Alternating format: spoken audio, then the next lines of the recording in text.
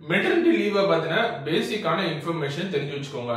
அதாவது ஏதாவது ஒரு ஃபீமேல் எம்ப்ளாயீஸ் ஒரு கம்பெனியில் ஒர்க் பண்ணிருக்காங்கன்னா அந்த டைம்ல அவங்க பிரெக்னெண்டா இருக்காங்க. அப்போ பிரெக்னெண்ட் அவங்க வச்சா குழந்தை பிறக்க போகுதுன்னா குழந்தை பிறந்ததுக்கு முன்னாடி இல்லை குழந்தை பிறக்கிறதுக்கு முன்னாடி ஒரு மாசம் கிட்டத்தட்ட அவங்க பிளான் பண்ணி ஒரு one eighty two days leave எடுத்துக்கலாம். நல்லா பிளான் பண்ணி எடுத்துக்கலாம்.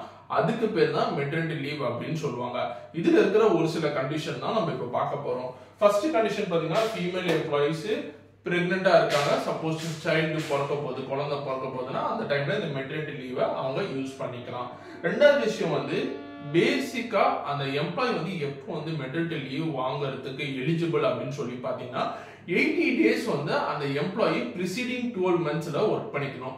அதாவது இந்த நவம்பரில் அந்த எம்ப்ளாயி மெட்டர்னிட்டி லீவில் போகிறாங்கன்னா இந்த நவம்பர்லேருந்து போன நவம்பர் வரைக்கும் எடுத்தால் ஒன் இயர் வரும். அப்போ அந்த ஒன் இயரில் அந்த எம்ப்ளாயி மினிமம் எயிட்டி டேஸ் வந்து அந்த கம்பெனியில் ஒர்க் பண்ணிருக்கணும்.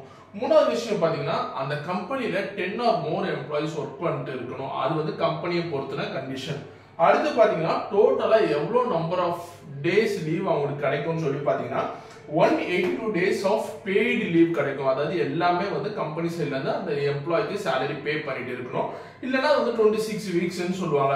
இந்த பேசிக்கான இன்ஃபர்மேஷனை ஏதாவது ஒரு ஃபீமேல் எம்ப்ளாயி மெட்டர்னிட்டி லீவ்ல போக போறாங்கன்னா அவங்களுக்கு ஷேர் பண்ணுங்க. அவங்களுக்கு ரொம்ப யூஸ்ஃபுல்லா இருக்கும்னு சொல்லி நம்பி தான் இந்த வீடியோவை நான் போட்டேன்.